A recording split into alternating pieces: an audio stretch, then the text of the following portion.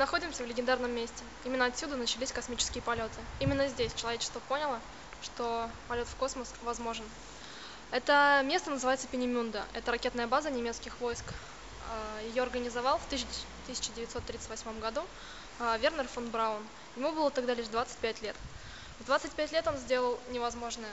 Он организовал 5000 человек на то, чтобы создать легендарную ракету, которая называлась А4. Он хотел сделать прогресс, он хотел сделать что-то полезное. Но, как всегда известно, то, что полезно для развития человечества, то полезно и для войны. А, из этой ракеты сделали легендарную а, В-2, ракету, которая называлась «Оружие возмездия». А, именно она принесла большое количество жертв, но именно она принесла большой прогресс и развитие нашей нации и нашего человечества. Здесь, в этом месте, проводилось создание жидкого кислорода для топлива этой ракеты.